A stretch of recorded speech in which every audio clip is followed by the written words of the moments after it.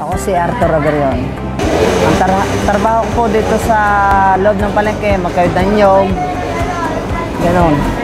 Magkayod nyog, magbenta ng nyog, ganon. Ba- Bago pala ako nagtitinda nyog dito, nagka-umpisa lang para may taguyod ko yung aking mga anak. Pang araw-araw naman eh, tumutubo rin ng konti sa nyog.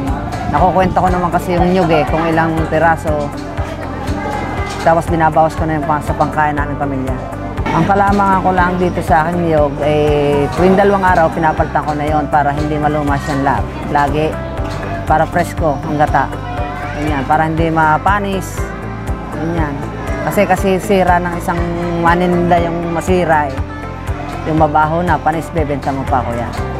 Ah, iniimbitahan ko naman po yung mga tao po dito sa palengke na sana po dito mamili sa akin kasi bago pa ang nyug ko at mas mura pa kaysa sa iba kasi bago pa lang ako nagsisimula kaya mas mura nyug.